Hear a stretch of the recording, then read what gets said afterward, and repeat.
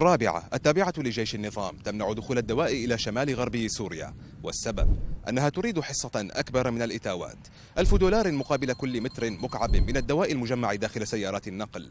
لم تعد كافية بالنسبة لفرقة لها تاريخ طويل في تحقيق الأذى للسوريين. ولن يشكل منع إدخال الدواء عائقا أمام توجهات هذه الفرقة وأقرانها من جيش النظام.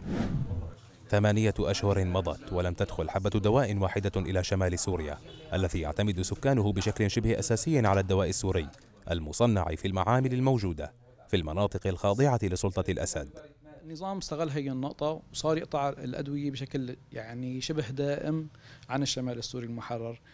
كل فترة وفترة يعني ممكن بيفتح شوية طريق بيمشي مثلا سيارات طبعا تحت آه، باستغلال مادي كبير. هذا الانقطاع بيؤدي إلى أنه كثير من الأصناف الرئيسية خصوصا الأكثر استخداما أنه تنقطع من هون ما تعود متوفرة.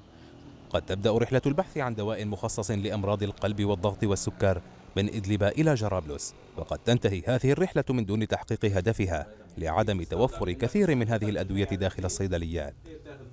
أدوية السكر مثل اليونيكرون 60 المريض كتير عم يدور وما عم يلاقي. الموليسيكور كمان مقطوع من أدوية القلب كتير مهمة مقطوع.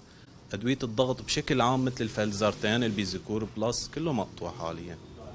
بالرغم من وجود بدائل أجنبية للأدوية المحلية فإن كلفتها المرتفعة تجعلها خارج نطاق الوصول للكثيرين.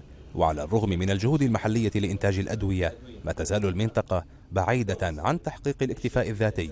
في هذا المجال. همام الزين تلفزيون سوريا. ريف حلب.